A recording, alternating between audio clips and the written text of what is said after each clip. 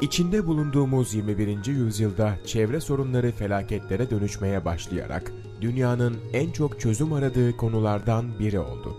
Denizler ve hava kirleniyor, ozon tabakası etkileniyor, ormanlar azalıyor, içilebilir sular tükeniyor, ekilebilir alanlar azalıyor.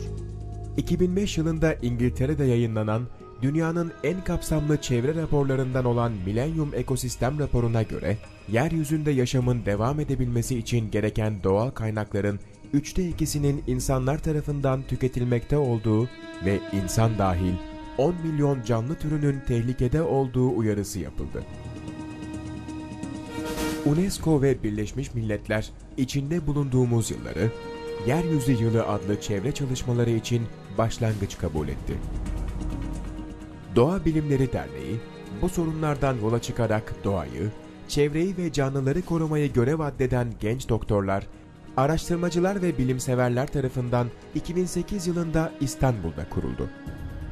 Derneğin amacı doğa bilimlerini sadece bilim insanlarının araştırma konusu olmaktan çıkarıp tüm insanların anlayabileceği ve ilgi duyacağı şekilde sunmak ve doğaya, canlılara karşı olan sevgiyi arttırmaktır.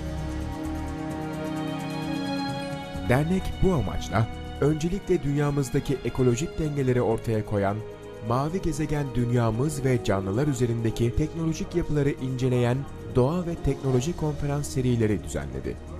Yüz milyonlarca dolar bir şeyin araştırılmasına harcanmıyor. Tabiatta örneği alınıyor, o taklit ediliyor. Ve en güzelini bulmuş oluyoruz, en mükemmelini bulmuş oluyoruz. O konuya kısa ve hızlı bir şekilde birlikte bakacağız. Bunların hepsi canlılarda hazır olarak var. Biz ne yapıyoruz? Biz kendi sistemlerimizi geliştirirken faydalanıyoruz. Kanatları katlayarak inişe yani dalışa geçen ve sürati artan bir uçak. Gençlerimizin teknolojiye olan ilgisinden yola çıkarak canlılar üzerindeki inanılmaz teknik yapıların sergilenmesiyle doğaya ve canlılara sevginin artacağı düşüncesiyle öncelikle İstanbul okullarıyla başlayan konferanslar, özel talep ve davet almış olduğu Azerbaycan, Bakü ve Kıbrıs Ortaöğretim Okullarında da gerçekleştirildi ve büyük ilgi gördü.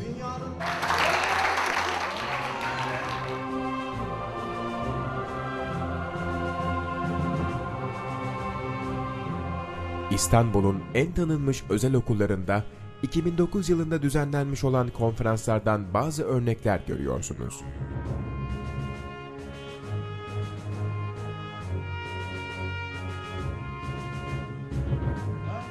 Doğa Bilimleri Derneği'nin resmi izinlerle ücretsiz ve tamamen gönüllülük esasına dayalı olarak düzenlediği konferanslar 2009 yılında İstanbul okullarından almış olduğu yoğun talep nedeniyle önümüzdeki yıllarda da konferanslara hem İstanbul hem Türkiye sathında devam edecektir.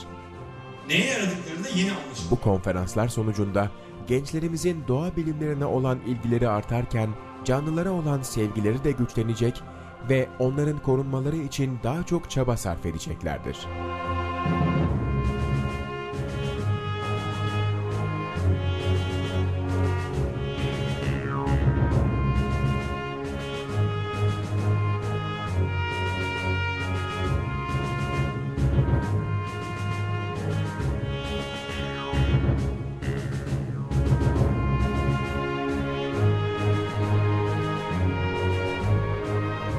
Valla çok güzel, çok değişik şeyler öğrendik.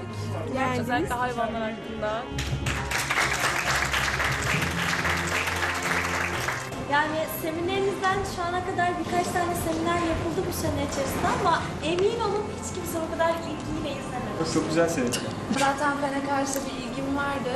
Yani bu slayttan sonra daha da çok ilgim arttı. Doğa Bilimleri Derneği Mustafa Kemal Atatürk'ün bilim ve fen neredeyse oradan alacağız ve ulusun her bireyinin kafasına koyacağız sözünün takipçisi ve uygulayıcısı olacaktır.